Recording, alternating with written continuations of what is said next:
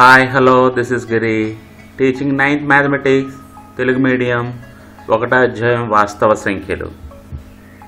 ఈ వీడియోలో ప్రత్యామ్నాయ విద్యా క్యాలెండర్ రెండవ వారంకి సంబంధించిన సిలబస్ని మనం నేర్చుకుందాం. ఇది మొత్తం నాలుగు వారాలకి నైన్త్ మ్యాథ్స్కి సంబంధించి నాలుగు వారాలకి ఇచ్చిన సిలబస్. ఈ నాలుగు వారాల్లోనూ ఆల్రెడీ మనం మొదటి వారం యొక్క సిలబస్ని మనం ఇంతకుముందు వీడియోలో మనం నేర్చుకుని ఉన్నాం క్రిందటి వారం. ఇప్పుడు ఈ రెండో వారంకు సంబంధించిన సిలబస్ చూద్దాం రండి. ఈ సిలబస్ ఏంటంటే the teachers can give some rational numbers to be converted to decimal forms the difference between the decimal forms of different rational numbers should be ask to students second second point, the students may also be encouraged to make different decimal expansions for themselves. The different decimal numbers can then be discussed to evolve the concept of irrational numbers. The textbook for class 9th is also available on the NCERT website and can be used during online discussions. ఇక్కడ మనకి ఈ syllabus ప్రకారం మనం ఏం చేయాలంటే P by Q రూపంలో ఉండే అకరణీయ సంఖ్యలను తీసుకుని ఆ అకరణీయ సంఖ్యల్ని దశాంశ సంఖ్యలుగా మార్చాలి అలాగే ఆ దశాంశ సంఖ్యల్లో ఉండే వివిధ రూపాలను మీరు తెలుసుకోవాలి. దశాంశ సంఖ్యలు మూడు రకాలుగా ఉంటాయి. ఆ మూడు రకాలను తెలుసుకోవాలి. అలాగే పీ క్యూ రూపంలో లేదా భిన్న రూపంలో ఉండే ఒక అకరణీయ సంఖ్యను తీసుకుని ఆ అకరణీయ సంఖ్యల్ని దశాంశ రూపంలోనికి మార్చాలి. విద్యార్థులందరూ కూడా వేర్వేరు రూపాల్లో ఉండే వివిధ భిన్నాలని అకరణీయ సంఖ్యలైన భిన్నాలను తీసుకోవాలి. ఆ భిన్నాలను దశాంశ రూపంలోనికి మార్చి మీరు ఏమైనా దాని నుంచి గమనించారేమో కూడా మీరు తెలియజేయవలసి ఉంటుంది. సరే ఇప్పుడు ఈ సిలబస్లో చూసుకుంటే ఆ సిలబస్లో ముందుగా మనం దశాంశ సంఖ్యల యొక్క వివిధ రూపాలను తెలుసుకుందాం. ఇందులో మొదటిది అంతమయ్యే దశాంశ సంఖ్యలు. వీటిల్ని అంతమయ్యే దశాంశ సంఖ్యలు అని అంటాం. అంటే దశాంశ స్థానంలో చివరి స్థానం కలిగి ఉండే దశాంశ సంఖ్యలు అంతమయ్యే దశాంశ సంఖ్యలు అవుతాయి. ఉదాహరణకి సున్నా పాయింట్ ఏడు. ఈ దశాంశ సంఖ్య ఏడుతోటి అంతమైపోతుంది. ఏడు తర్వాత ఇంకేమీ మనకి సంఖ్యలు లేవు. అలాగే ఒకటి పాయింట్ రెండు మూడు తొమ్మిది. ఈ దశాంశ సంఖ్య తొమ్మిదితో అంతమవుతోంది. ఇంకొక ఉదాహరణ నూట ఇరవై మూడు పాయింట్ సున్నా సున్నా తొమ్మిది. ఈ దశాంశ సంఖ్య కూడా తొమ్మిదితో అంతమవుతోంది. ఆ తర్వాత ఎలాంటి అంకెలు కూడా దశాంశ స్థానాలు లేవు కాబట్టి ఇవి అంతమైపోతున్నాయి. ఆ స్థానంతో అంతమవుతున్నాయి కాబట్టి ఈ సంఖ్యలన్నీ కూడా అంతమయ్యే దశాంశ సంఖ్యలు అవుతాయి. మళ్ళీ ఒకసారి చూడండి. దశాంశ స్థానంలో చివరి స్థానము కలిగి ఉండే దశాంశ సంఖ్యలని అంతమయ్యే దశాంశ సంఖ్యలు అంటారు. అయితే ప్రతి అంతమయ్యే దశాంశాన్ని కూడా మనం పీ బై క్యూ రూపంలో అంటే భిన్న రూపంలో మనం రాయగలుగుతాము. మనకి ఇచ్చిన ఏ అంతమయ్యే దశాంశాన్నైనా పీ బై క్యూ రూపంలో మనం రాయగలుగుతాం. ఏ సంఖ్యనైతే పీ బై క్యూ రూపంలో రాయగలుగుతామో అప్పుడు ఆ సంఖ్యను ఏమని పిలుస్తాం మనం? ఏ సంఖ్యనైతే భిన్న రూపంలో పీ బై క్యూ రూపంలో రాయగలుగుతామో ఆ సంఖ్యని అకరణీయ సంఖ్య అని పిలుస్తారు. అందుకని ఇది ఒక అకరణీయ సంఖ్య అవుతుంది. ఉదాహరణ సున్నా పాయింట్ ఏడు అంటే ఏడు బై పది అని రాసాం ఒకటి పాయింట్ రెండు మూడు తొమ్మిది అంటే పన్నెండు వందల ముప్పై తొమ్మిది బై వెయ్యి. ఇలాగా ప్రతి అంతమయ్యే దశాంశ సంఖ్యని కూడా భిన్న రూపంలో రాయగలుగుతాం కాబట్టి అన్ని అంతమయ్యే దశాంశ సంఖ్యలు కూడా అకరణీయ సంఖ్యలు అవుతాయి. ఇంకా దశాంశ సంఖ్యల్లో రెండవ రకం అంతం కాని ఆవర్తనమయ్యే దశాంశ సంఖ్యలు. అంతం కాని పేరులోనే కనిపిస్తోంది. అంతం కాదు. అంటే ఈ దశాంశ స్థానాలు అలాగా అనంతంగా కొనసాగుతూ ఉంటాయి. అలాగే ఆవర్తనం ఆవర్తనం అంటే మరలా మరలా అదే రా వస్తూ ఉండడం అనమాట అంటే అనంతంగా కొనసాగుతూ దశాంశ భాగం మరలా మరలా వచ్చేది అంతం కాని ఆవర్తనమయ్యే దశాంశ సంఖ్య అంటాం. ఇలా ఒకసారి చదువుతున్నాను. అనంతంగా కొనసాగుతూ దశాంశ భాగం మరలా మరలా వచ్చేది అంతం కాని ఆవర్తనమయ్యే దశాంశం. ఉదాహరణకి సున్నా పాయింట్ మూడు మూడు మూడు అలా స్వాన్. అలా మూడు అలా వస్తూనే ఉంది. అక్కడ అంతం లేదు. అలాంటి దాన్ని అంతం కాని అంటాం. అంతం కాని దశాంశం అంటాం. అలాగే మూడు అనే ఆ దశాంశ స్థానం మరలా మరలా వస్తుంది కాబట్టి అది ఆవర్తనమయ్యే దశాంశం అవుతుంది. అందుకని ఇది సున్నా పాయింట్ మూడు మూడు మూడు అన్నది అంతం కాని ఆవర్తనమయ్యే దశాంశ సంఖ్యకి ఉదాహరణ. అలాగే తర్వాత చూడండి రెండవ ఉదాహరణ. పన్నెండు పాయింట్ ఒకటి ఐదు మూడు ఐదు మూడు ఐదు మూడు ఐదు మూడు అలాగే ఐదు మూడు మరలా మరలా వస్తుంది. అందుకని ఇది కూడా అనంతంగా కొనసాగుతోంది.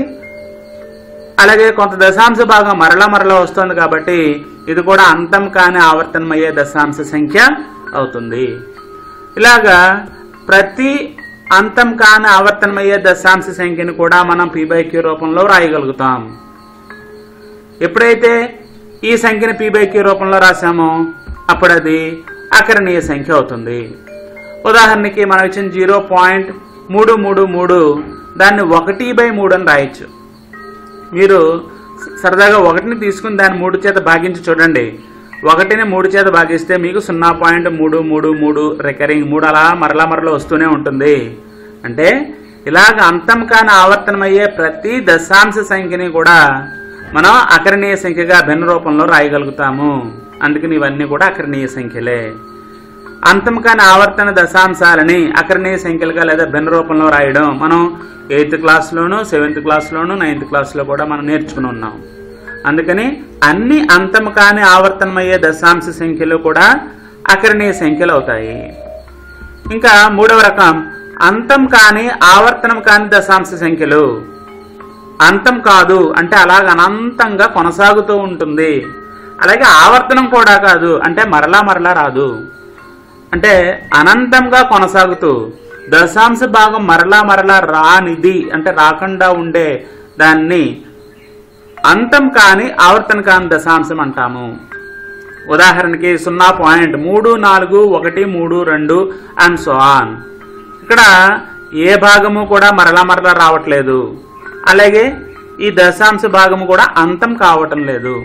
ఇలాంటి సంఖ్యలని అంతం కాని ఆవర్తనం కాని దశాంశ సంఖ్యలు అంటారు. మళ్ళీ చదువుతున్నా ఒకసారి చూడండి.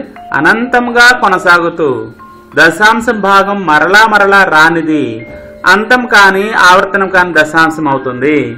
ఉదాహరణ సున్నా పాయింట్ మూడు నాలుగు ఒకటి మూడు రెండు అండ్ సో ఆన్ ఇలాగా అంతం కాని ఆవర్తనం కాని దశాంశ సంఖ్యల్ని మనం పీబైక్యూ క్యూ రూపంలో రాయలేము దీన్ని ఒక భిన్న రూపంలో మనం రాయలేము భిన్న రూపంలో రాయలేం కాబట్టి అప్పుడు ఈ సంఖ్యలన్నీ కూడా కరణీయ సంఖ్యలు అవుతాయి.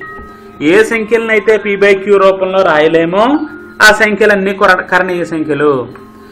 ఏ సంఖ్యలనైతే పీ బై క్యూ రూపంలో రాయగలుగుతామో అవన్నీ కూడా అకరణీయ సంఖ్యలు. అందుకని ఇది ఒక కరణీయ సంఖ్య అవుతుంది. కరణీయ సంఖ్య ఉదాహరణ చెప్పమంటే మీరు రూట్ రెండు చెప్పచ్చు లేదా రూట్ మూడు చెప్పచ్చు లేదా రూట్ ఐదు చెప్పచ్చు లేదా రూట్ ఆరు చెప్పచ్చు లేదా పైని చెప్పచ్చు. ఇవన్నీ కూడా కరణీయ సంఖ్యలకి ఉదాహరణలు. దశాంశ సంఖ్యలోని వివిధ రూపాలు తెలుసుకున్నాం కదా ఇప్పుడు. తెలుసుకున్న తర్వాత ఇప్పుడు దానిపైన కొన్ని సమస్యలను మనం సాధిద్దాం. చూడండి అకరణీయ సంఖ్యలను అంటే పీ బై క్యూ రూపంలో ఉండే అకరణీయ సంఖ్యలను భిన్న రూపంలో ఉండే అకరణీయ సంఖ్యను దశాంశ రూపంలోనికి మార్చడం. మీకు అకరణీయ సంఖ్య అంటే నిర్వచనం గుర్తుంది కదా? చెప్పగలరా ఎవరైనా? ఒకసారి ఆలోచించండి. ఒకసారి గుర్తు తెచ్చుకోవడానికి ప్రయత్నం చేయండి. అకరణీయ సంఖ్య అంటే పీ బై క్యూ రూపంలో వ్రాయగలిగిన సంఖ్యలన్నిటినీ అకరణీయ సంఖ్యలని అంటారు.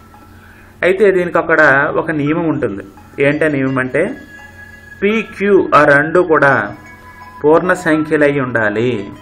లవము హారము కూడా పూర్ణ సంఖ్యలై ఉండాలి. అలాగే హారము జీరో కాకూడదు. పీక్యూలు రెండు పూర్ణ సంఖ్యలు అవ్వాలి. Q not equal to zero Q అంటే హారము జీరో కాకూడదు. అలాంటి పీ బై క్యూ రూపంలో ఉండే సంఖ్యలన్నీ కూడా అకరణీయ సంఖ్యలు అవుతాయి ఇప్పుడు అలాంటి అకర్ణీయ సంఖ్యలు కొన్నిటిని తీసుకుని వాటిని దశాంశ రూపంలోనికి మార్చడానికి మనం ప్రయత్నం చేద్దాం. ముందుగా ఒక ఉదాహరణ చూద్దాం. ఒకటి బై రెండు. ఒకటి బై రెండు అనే ఒక భిన్నాన్ని తీసుకున్నాం. ఈ భిన్నాన్ని దశాంశ రూపంలోనికి మార్చాలి. దశాంశ రూపంలో మార్చాలంటే ఇక్కడ లవము ఒకటి హారము రెండు కాబట్టి లవాన్ని హారం చేత భాగిద్దాం. ఒకటిలో రెండు పోతుందా? రెండు పోదు కాబట్టి జీరో పాయింట్ అని పెట్టుకున్నాం. ఎప్పుడైతే పాయింట్ పెట్టుకున్నామో ఒకటి పక్కన జీరో అని మనం సున్నాని యాడ్ చేసుకుంటే పది అయింది ఒకటి పక్కన సున్నాని రాసుకున్నాం పది అయింది ఇప్పుడు పదిలో రెండు ఎన్నిసార్లు పోతుంది? పదిలో రెండు ఐదు సార్లు పోతుంది. రెండు ఐదులు పది. ఇప్పుడు పదిలోంచి పది తీసివేస్తే శేషం జీరో అని వచ్చింది. ఎప్పుడైతే శేషం జీరో వచ్చిందో భాగహారం పూర్తయిపోయింది. అంటే ఒకటి బై రెండుని దశాంశ రూపంలో మనం ఎలా రాయగలిగాం? జీరో పాయింట్ ఐదు అని రాసాం మనం. తర్వాత రెండవ లెక్క చూడండి. ఒకటి బై ఐదు. ఒకటిని ఐదు చేత భాగిద్దాం. మళ్ళీ ఒకటిలో ఐదు పోదు కాబట్టి జీరో పాయింట్ అని పెట్టుకున్నాం.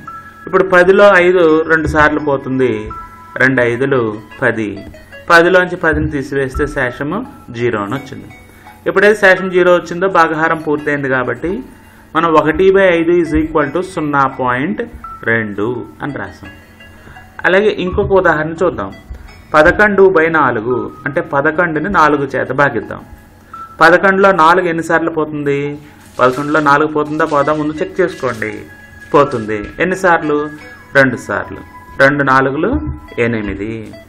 ఇక్కడ పదకొండు కింద ఎనిమిది రాయండి. ఇప్పుడు తీసివేయండి. పదకొండులోంచి ఎనిమిది తీసివేస్తే మనకి శేషం ఎంత వచ్చింది? మూడు వచ్చింది. శేషం మూడు వచ్చింది. మూడులో నాలుగు పోదు కాబట్టి ఇప్పుడు పాయింట్ పెట్టుకున్నాం. పాయింట్ పెట్టుకుని మూడు పక్కన జీరోని రాసుకున్నాం. సున్నాను రాసుకుంటే ఇప్పుడైతే ముప్పై అయింది. ఈ ముప్పైలో నాలుగు ఏడు సార్లు పోతుంది మనకి. అంటే ఏడు నాలుగు ఇరవై ఎనిమిది. ముప్పైలోంచి ఇరవై ఎనిమిది తీసివేస్తే శేషం ఎంత వచ్చింది? రెండు వచ్చింది. ఈ రెండు పక్కన జీరో రాసుకుంటే ఇరవై వచ్చింది.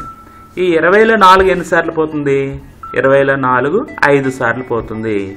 ఐదు నాలుగు ఇరవై. శేషము సున్నా అంటే భాగహారం పూర్తయిపోయింది. భాగహారం పూర్తయ్యాక ఇప్పుడు పదకొండు బై నాలుగుని దశాంశ రూపంలో రాయమంటే పదకొండు బై నాలుగు ఈజ్ ఈక్వల్ టు రెండు పాయింట్ ఏడు ఐదు అని రాసాం అంతే కదా? ఇప్పుడు మనం చూసిన ఈ మూడు ఉదాహరణల్లో కూడా ఈ మూడు ఉదాహరణలోని అకరణీయ సంఖ్యల్ని దశాంశ రూపంలోనికి మారిస్తే ఇక్కడ దశాంశం అంతమైపోయింది. ఇక్కడ భాగహారం పూర్తయిపోయింది శేషం సున్నా వచ్చింది. అందుకని ఇది అంతమయ్యే దశాంశం అంటారు. ఇక్కడ కూడా శేషం జీరో వచ్చింది అందుకని ఇది కూడా అంతమయ్యే దశాంశమే. ఇక్కడ కూడా శేషం జీరో వచ్చింది అందుకని ఇది కూడా అంతమయ్యే దశాంశమే. ఈ మూడు కూడా అంతమయ్యే దశాంశాలు వచ్చాయి. ఇప్పుడు జాగ్రత్తగా మీరు ఇక్కడ ఈ భిన్నాల్లో ఉండే హారాలను కానీ మీరు పరిశీలిస్తే ఇక్కడ హారము రెండు ఇక్కడ హారము ఐదు ఇక్కడ హారము నాలుగు. ఈ హారాల్ని ఏ భిన్నంలోనైనా హారముల్ని కారణాంకాల కింద విభజిస్తే ప్రధాన కారణాంకాల కింద విభజిస్తే ఆ ప్రధాన కారణాంకాల్లో రెండు ఐదు మాత్రమే కారణాంకాలుగా ఉన్నాయనుకోండి. ఏ భిన్నములోనైనా హారానికి కారణాంకాలు రెండు ఐదు మాత్రమే ఉంటే అప్పుడు అలాంటి భిన్నాలని అలాంటి అకరణీయ సంఖ్యల్ని దశాంశ రూపంలోనికి మారిస్తే మనకి ఎలాంటి దశాంశాలు వస్తున్నాయి? మనకన్నీ కూడా వెరీ గుడ్ ఇవన్నీ ఎలాంటి దశాంశాలు? ఇవన్నీ కూడా అంతమయ్యే దశాంశాలు వస్తున్నాయి. ఎప్పుడు అంతమయ్యే దశాంశాలు వస్తాయి? అక్కడనే సంఖ్యలోని హారములు రెండు ఐదు మాత్రమే ప్రధాన కారణాంకాలని కలిగి ఉంటే అప్పుడు ఆ భిన్నాలని దశాంశ రూపంలోనికి మార్చినప్పుడు ఆ దశాంశాలన్నీ కూడా అంతమయ్యే దశాంశాలు వస్తాయి. ఇంకొన్ని ఉదాహరణలు చూద్దాం. ఇక్కడ కూడా అకరణీయ సంఖ్యలను దశాంశ రూపంలోనికే మారుద్దాం. ఇక్కడ ఒక ఉదాహరణ ఏంటంటే ఒకటి బై మూడు. అంటే ఒకటిని మూడు చేత భాగించాలి. ఒకటిని మూడు చేత భాగించాలంటే ఒకటిలో మూడు పోతుందా? పోదు కాబట్టి సున్నా పాయింట్ పెట్టుకున్నాం. పాయింట్ పెట్టుకుని ఇక్కడ జీరో రాసుకున్నాం. పది వచ్చింది. ఇప్పుడు పదిలో మూడు ఎన్నిసార్లు పోతుంది? మూడు మూడు తొమ్మిది. అంటే మూడు మూడు తొమ్మిది రాసుకున్నాం. పదిలోంచి తొమ్మిదిని తీసివేస్తే మనకి శేషం ఒకటి వచ్చింది. ఒకటి వచ్చింది కాబట్టి ఒకటిలో మూడు పోదు కాబట్టి మళ్ళీ సున్నా పెట్టుకున్నాం సున్నా రాసుకున్నాం పక్కన. పది అయింది పదిలో మూడు మళ్ళీ మూడు సార్లు. మూడు మూడు తొమ్మిది. ఈ పదిలో తొమ్మిది తీసివేస్తే మళ్ళీ శేషం ఒకటి వచ్చింది ఇప్పుడు చూడండి ఇలాగ ఇక్కడ శేషం ఒకటే ఇక్కడ శేషం ఒకటే ఇలాగ ఎన్నిసార్లు మనం భాగహారం చేసినా మనకి శేషం అలా ఒకటి వస్తూనే ఉంటుంది. అంటే ఈ భాగహారం పూర్తయిందా? భాగహారం పూర్తి కాలేదు. భాగహారం పూర్తి కాలేదు కాబట్టి ఇక్కడ మూడు చుక్కలు పెట్టాం. అలాగే మళ్ళా మళ్ళా మనం భాగహారం చేస్తూ ఉన్నా మనకి మరలా మరలా మూడు మాత్రమే వస్తుంది. మూడే వస్తుంది. అందుకని ఇక్కడ మూడు చుక్కలు పెట్టామంటే భాగహారం ఇలాగ ఇంకా పూర్తవలేదు అని అర్థం.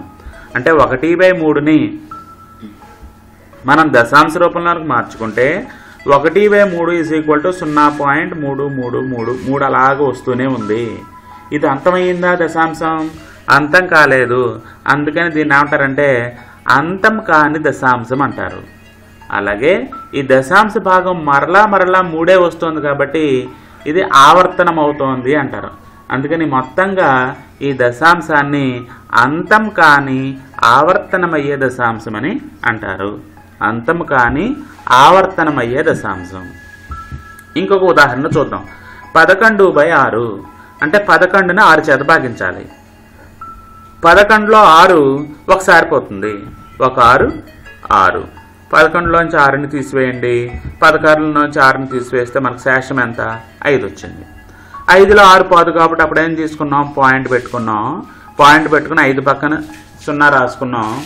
ఐదు పక్కన సున్నా రాసుకుంటే యాభై అయింది. ఈ యాభైలో ఆరు ఎనిమిది సార్లు పోతుంది. ఎనిమిది ఆర్లు నలభై ఎనిమిది. యాభైలోంచి నలభై ఎనిమిది తీసేస్తే శేషము రెండు వచ్చింది. ఈ రెండు పక్కన సున్నా రాసుకుంటే ఇరవై. ఈ ఇరవైలో ఆరు మూడు సార్లు పోతుంది. మూడు ఆర్లు పద్దెనిమిది. అంతే కదా? మూడు ఆర్లు పద్దెనిమిది మళ్ళీ శేషం రెండు వచ్చింది. ఇలాగా ఇప్పుడు చూడండి ఇంతవరకు బాగానే వచ్చింది. ఇక్కడి నుంచి మళ్ళీ రెండు శేషం అలా రెండు శేషం వస్తూనే ఉంటుంది. అంటే భాగహారం పూర్తి అవ్వలేదు అందుకని మూడు చుక్కలు పెట్టాం. భాగహారం పూర్తి అవ్వలేదు కాబట్టి ఇక్కడ ఎనిమిది తర్వాత మూడు మూడు మూడు అలాగ వస్తూనే ఉంది కాబట్టి ఇక్కడ కూడా మూడు చొక్కలు పెట్టాం. అంటే పదకొండు బై ఆరు ఇజ్ ఈక్వల్ టు ఒకటి పాయింట్ ఎనిమిది మూడు మూడు అండ్ సో ఆన్ పదకొండు బై ఆరు ఇజ్ ఈక్వల్ టు ఒకటి పాయింట్ ఎనిమిది మూడు మూడు అండ్ సో ఆన్ ఇలాగ వస్తూనే ఉంది. పదకొండుని ఆరు చేత భాగించినప్పుడు. అంటే ఇది కూడా అంతం కాలేదు కాబట్టి ఇది అంతం కాని దశాంశం అంటారు. అలాగే మూడు మరలా మరలా వస్తుంది కాబట్టి ఇది ఆవర్తనమయ్యే దశాంశం అంటాం. అంటే మొత్తంగా ఇది అంతం కాని ఆవర్తనమయ్యే దశాంశం.